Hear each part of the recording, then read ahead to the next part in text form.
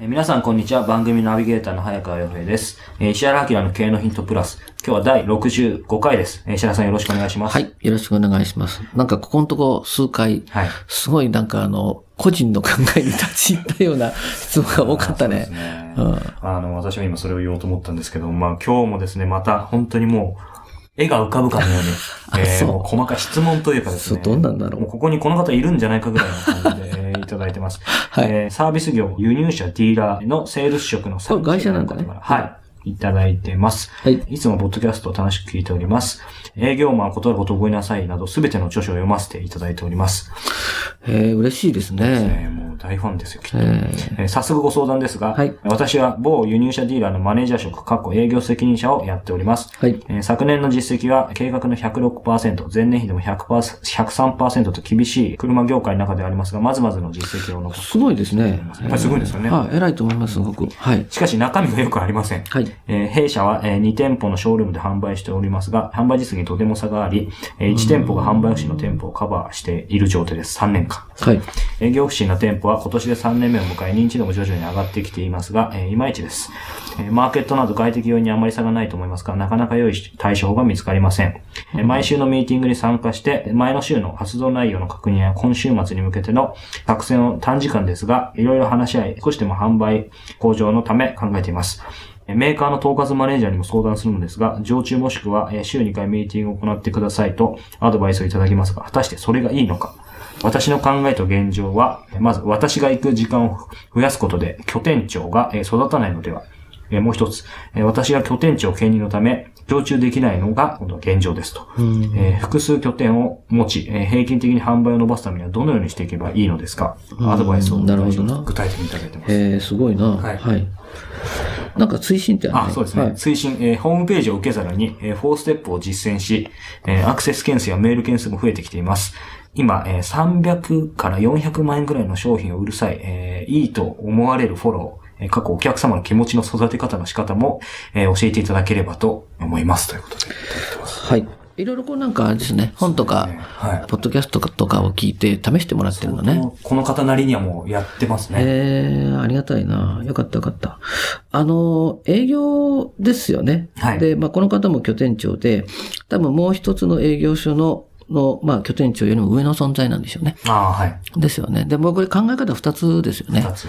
あの、その拠点長を、はいもう、あの、もう例えば何度も接触頻度を増やして、だから自分が行くこともそうですけど、その拠点長に来てもらって、で、その拠点長から自分、その下のセールスの人に対して、どういうふうに指導したらいいかっていうことを考え方を浸透させながら、はい拠点長そのものを育てるっていうことですね。なるほど。で、これがだから、いけるかどうかの問題だよね。いける。うん、要するにその、えっ、と、もう一方の営業不振の方の拠点長さんがはい、育てるに値するかどうかっていうのがあるから、そこで、その人を育った方がいいって考えれば、その人との接触頻度をこっちが行くんじゃなくて来てもらうことによって上げるっていうのが一個ですね。はいうん。で、まあ、これができるかどうかをまず考えましょうっていうことですね。で、できないんであれば、多分、あの、接触頻度を上げて、はい。はい。あの、直接営業マンの指導をする方がいいでしょうね。ああ、なるほど。うん。このどっちかの判断を、まあ、この方自体がするっていうのがいいんじゃないかなと思いますね。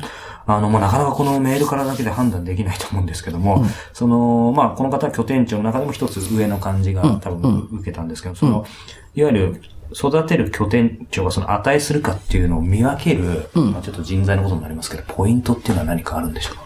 うん。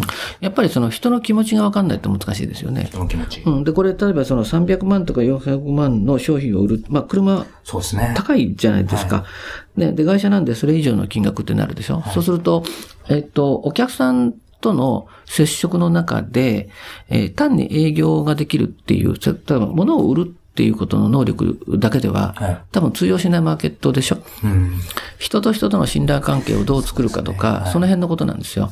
そういった考えると、営業の指導っていうのは、売るために何をするかっていう指導以外に、その人がそもそもどういうことを考えている人間なのかっていうね、人の性質とか性格、考え方自体にまで立ち入って、変えることが必要になるんですよ。うん。で、あの、例えばお客さんに対してどういう感情を持ってんのとか、はい。ね、例えば、あの、大好きなお客さんと、あの、例えば一緒にいるときにどんな気持ちになっってるとか、ね、あの、上位のお客さんと一緒にいる時にどんな気持ちになってるみたいな、そ、そっち側まで、はい。あの、聞ける、そっち側までこう、思考をよを及ぼせるっていうことが実はすごく重要になるみたいね。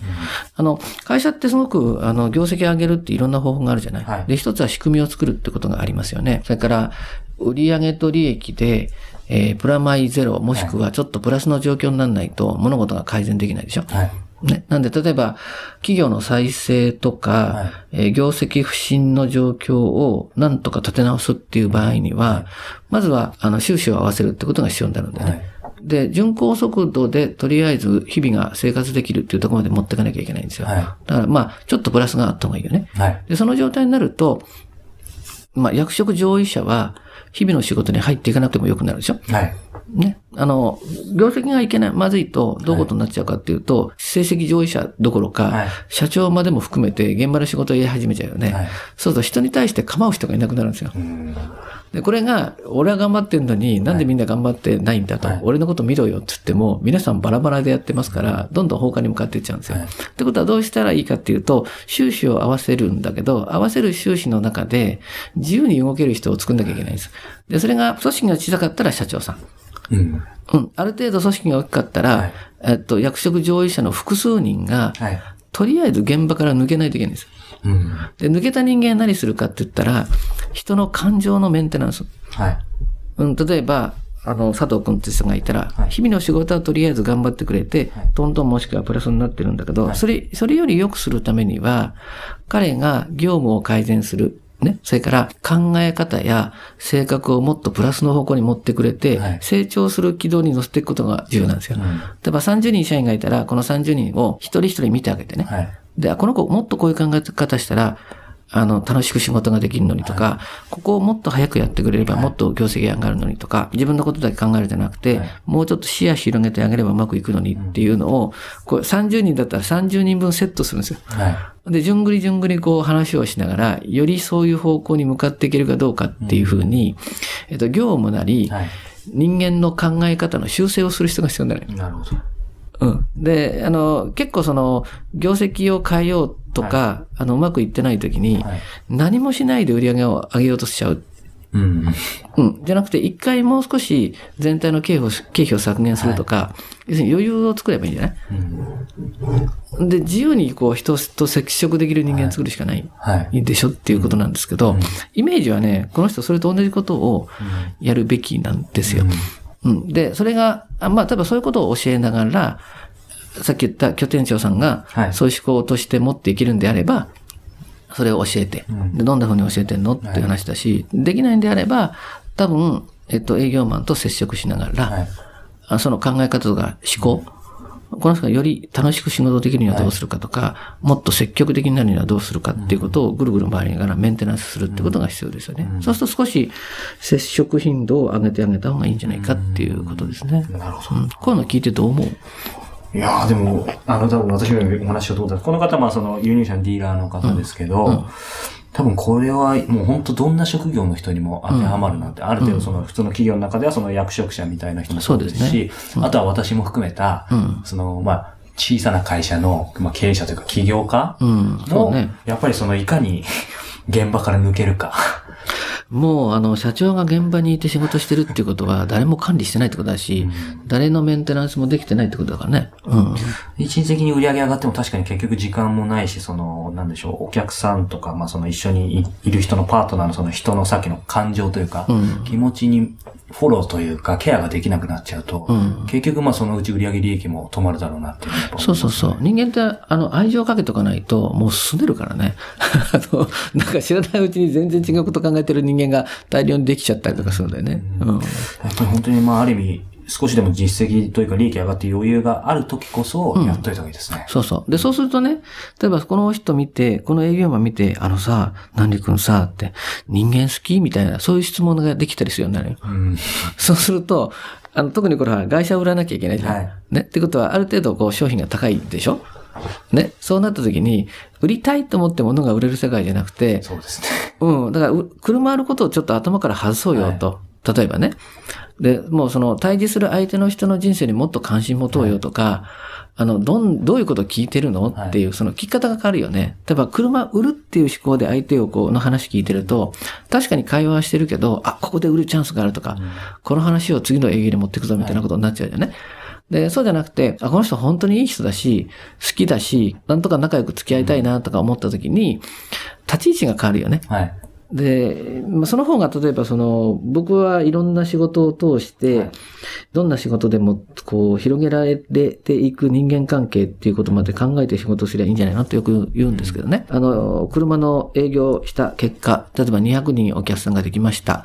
だけどみんな薄い関係ですっていうのとさ、200人の車をね、200人に対して車を売ったんだけど、一人一人とすごく仲良くしていてね。例えば、まあその営業の人が将来ね、独立するにしても、え、独立するんだったらもう何でも応援するみたいな人がさ、例えば何十人かいるっていうのってこう全然違うじゃん。そうですね。うん。で、あの、そういう仕事なんだよっていうさ、マーケットが高いっていうのは、そういう仕事なんだよって。だから、一件一件の問い合わせとかね、お客さんとの接触で、そういう考え方を持ってやったら、すごいこう自分の人生に積み重ねが起きるじゃんみたいなさ、そういうふうなところまで持ち込めればね、面白いんだけどね。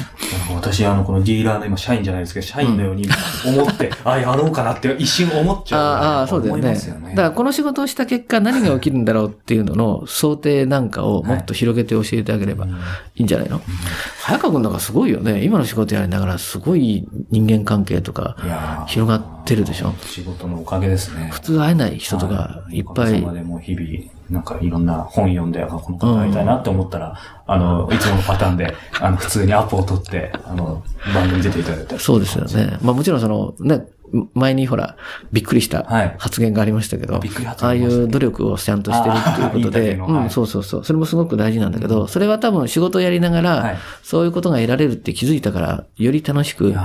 誰かにしろって言われてるわけじゃなくて、楽しくやってるわけでしょ。はい。で、そうなればね、すごいいいのにね。うん。いや、なので今、石田さんがまさに、あの、この番組でおおっしゃったその人の気持ちのお話を、まあ、この方もその、まあ、営業の職の方だったり、うん。その拠点長の方に、そういう話多分すると、すごいみんな刺さると思うので。そうそうそう。だから、さっき言ったみたいに、プラスマイナスでちょっとプラスの方に持ってって、はい役職者がある程度上に抜けなきゃいけないんでね。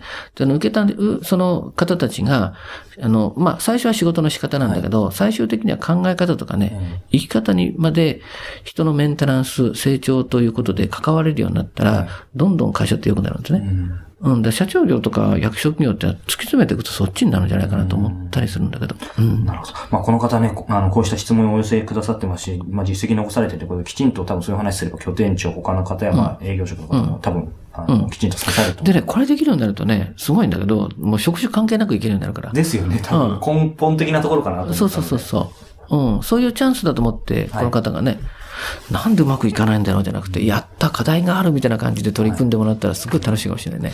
いやーいつもね、あの、ポッドキャスト20回聞いてくださいと、あの、二人で言ってますが、今日はまさにこの方いや30回ねはい30回50回。50 ぜひ聞いていただければと思います。えー今日は石原さんどうもありがとうございまはい、した。ありがとうございます。